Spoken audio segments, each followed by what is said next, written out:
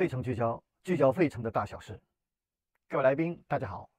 二零二二年十月二十三号下午，在费城东北区的军人工会，由宾州参议员 Tina Taglione 和宾州众议员 Jella Salomon 共同组织了为民主党州长候选人、现任宾州检察总长 George Shapiro 的造势活动。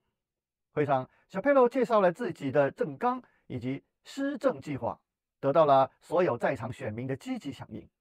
值得一提的是，在造势会上也出现了不少我们。华裔的身影，小佩罗也首次的接受了华裔媒体费城聚焦的采访。您想对我们亚裔选民说些什么？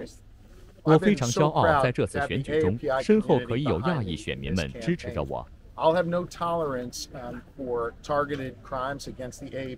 我对于那些过去近期伤害或者已对亚裔群体犯罪的这些人和事件，绝对是零容忍。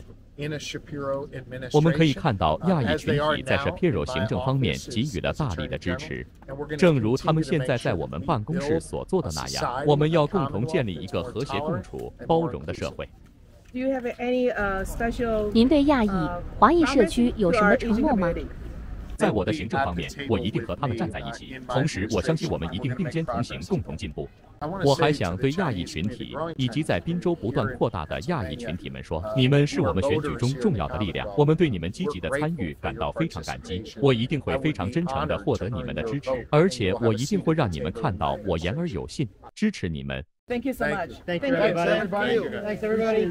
看到有这么多华裔参加今天州长候选人的造势会，你有什么感受？我为我们的亚裔同胞们感到很骄傲。我们努力向大家展示着，我们是家人。无论你是亚洲人、拉丁裔还是黑人同胞们，我们是一家人。每一个人来自这里支持 Shapiro。我来到这里不仅代表着参议员 Christina Tonio，我还代表着我的儿媳妇，她的名字是 Susan Young，她是一名美裔亚洲人，她来自于韩国的首尔。我为她感到很骄傲，我为我儿子能选择她做未婚妻感到很自豪。同时，我感到非常高兴可以见到所有的美国的亚洲朋友相聚在这里，我真的发自内心感到骄傲。